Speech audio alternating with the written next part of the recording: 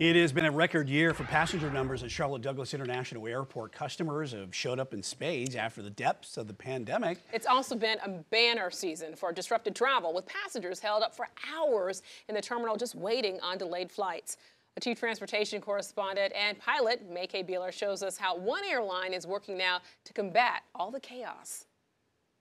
If you are a frequent flyer, you know that flight delays, they're par for the course. You're going to be stuck at the airport for a while, so what do you do while you're waiting? Would you rather relax here or here? Snack here or here? Chill out here or here? Thank you. Ever wonder what's behind that coveted door for those airport lounge clubs? Let's take a peek. Hi, good afternoon. How are you doing today? If you think an airport lounge is a cliquey club for those other people, you know, various VIPs, business execs, the wealthy and well connected, think again. It's just nice to be able to go in and it's a little quieter, get food and drink and be able to hang out. Really, it's anybody that wants to be cared for at an elevated level.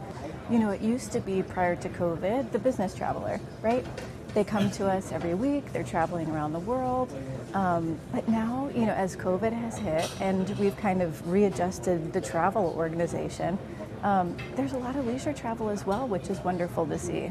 Michelle Battle is the Premium Services Manager of American Airlines Admirals Club. She knows terminals are typically frantic. After all, it's the nature of the beast. Airport lounges like the Admirals Club, tucked away within the terminal, offer a breather from an otherwise chaotic concourse environment. We have food and beverage here that's complimentary. There's food for sale, premium beverages for purchase. Um, and really, it's a quieter place to kind of get away from the hustle and bustle of the concourse. The Admirals Club offers comforts beyond those just outside its doors in the airport terminal itself. Comfortable seating, peace and quiet, charging points, desks, Wi-Fi, and more. I have seen them going by. That's like a like a VIP like room where you go in and they serve you drinks. Yeah, I've seen them before. Any interest in those? No, not at all. They're very efficient. Yeah, they're very helpful if you do have those long layovers, for sure. Club members are treated to many perks, including access to premium customer service reps. You also have access to one of us, which, you know, we're here to assist you if you've run into any travel disruption or you need to change a seat, you know, anything like that. We can, or change a flight last minute because something came up. You know, we can do all that here for you um, and make it seamless for you. They're very nice if you know about them. right. But right. There, there's also a cost to them. But I like them. The Admirals Club can be accessed in various ways. There are complimentary, perks, and paid access. You can sign up for a membership at the door.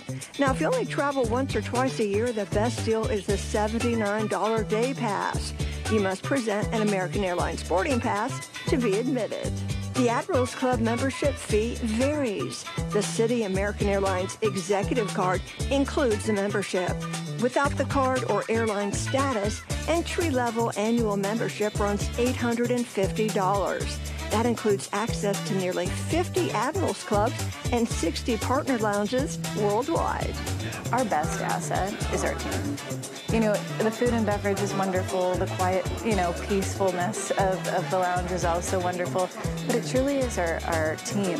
And, you know, it's wonderful to see the, the relationships they create with those that do come back and, and, you know, are frequent travelers. Now, as you can imagine, every major airline, they do have their own lounges or clubs at certain airports. But here at Charlotte Douglas International Airport, it's only American Airlines and the Admirals Club.